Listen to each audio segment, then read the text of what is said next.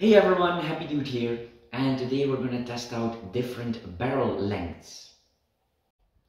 I didn't find any good video about this on YouTube for airsoft revolvers or CO2, so I decided to make one myself. Now, it's not that easy to test this because you need the same gun with the same air pressure system, also with the same ammo, and then you need that gun with different barrel lengths. And I am not going to saw off my barrel of my Dan Wesson.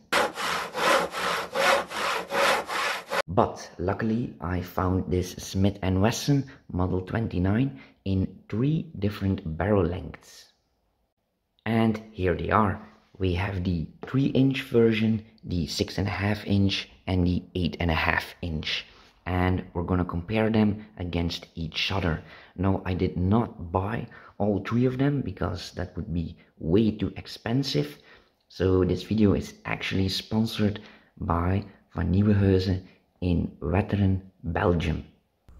And this is where I buy most of my stuff. They have almost everything. Hunting gear, clothes, crossbows, all sorts of knives,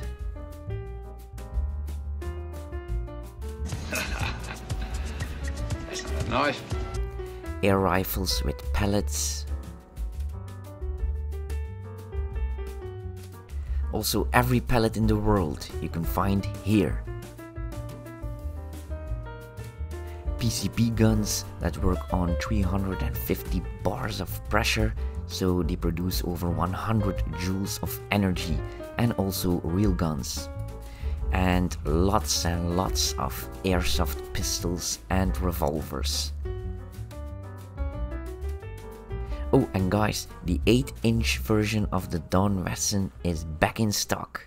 Alright, let's go back to the video.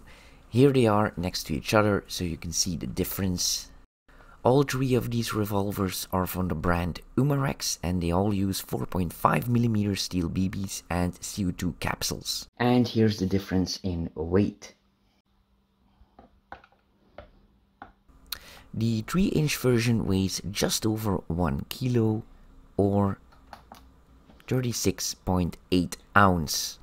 The 6.5 inch version weighs 1141 gram or 40.2 ounce. And the 8.5 inch version weighs exactly 1200 gram or 1.2 kilo or 42.3 ounce. Now let's try out the triggers. And this is very weird because they all have the same trigger mechanism but the smallest gun has the most heavy trigger to pull over. And the biggest revolver the 8.5 inch has the lightest trigger. Alright time to put some CO2 into the revolvers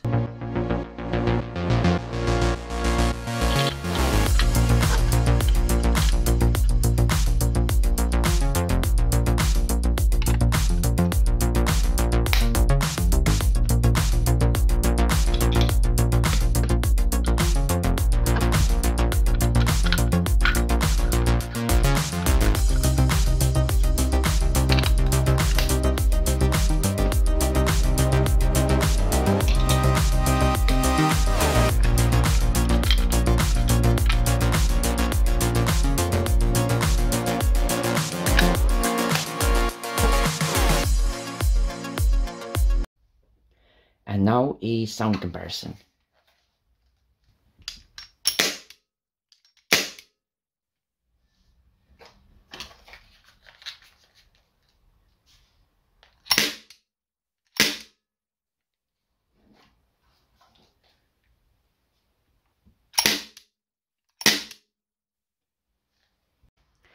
And now we're gonna load up all three guns with 4.5mm steel BBs from Umarex.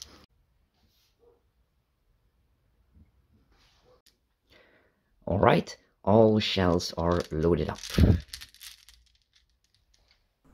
Alright, let's see if we have any difference in FPS. The science behind it goes as follow. Yes, science! Okay. Because you have a longer barrel, the air pressure inside can build up more and therefore you should have more FPS and power. And also because the projectile is traveling through a longer tube, you should have more accuracy also. But is that really true? Let's find out. So first I'm gonna load up the 3 inch revolver and then we're gonna do the 6.5 inch and then the 8.5 inch.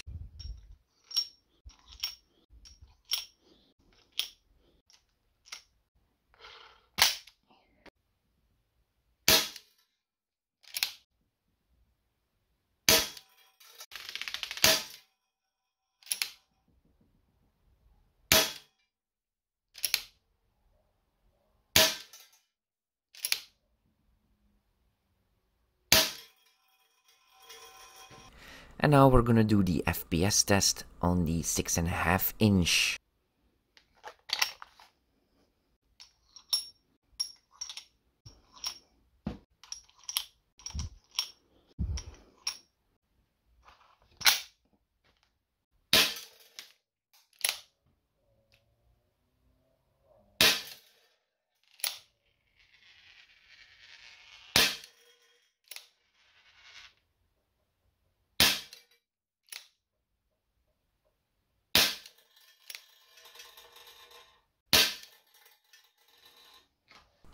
And now the final revolver, the eight and a half inch.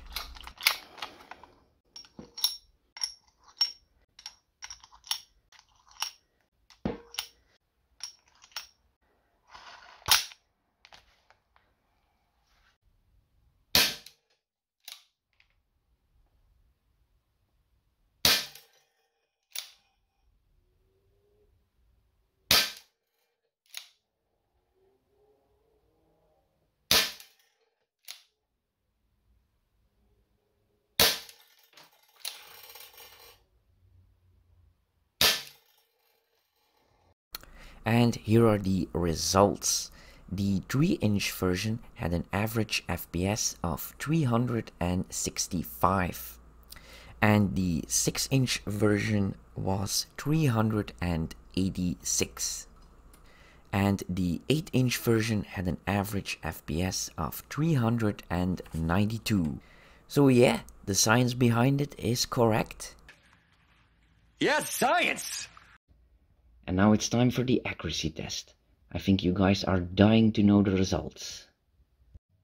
To make sure the results are accurate and consistent, I'm going to secure the revolvers in a vise. And the shooting will be done inside so we don't have any crosswinds and I will be shooting from 10 meters away.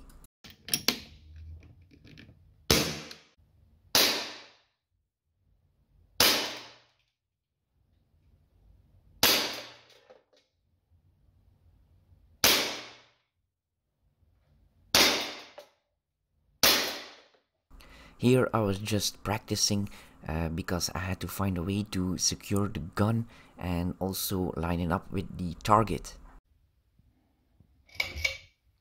And here are the final results. This is the result of the 3 inch version and as you can see it did rather poorly. And this is the result of the 6.5 inch and that's a way better result. And then finally the eight and a half inch and believe it or not, that's an even better result. Look how close those bullet holes are. And here they are next to each other for a comparison. So, that's another win for science. Yes, science! Okay. So, which one of these three revolvers would you buy? Or do you already have one? If so, which one? And also, which revolver looks best on me? Please let me know in the comments below. And don't forget to like and subscribe to see more videos like this. You all have a nice day now. And maybe do a small donation to support my work. Do it. Like and subscribe, punks.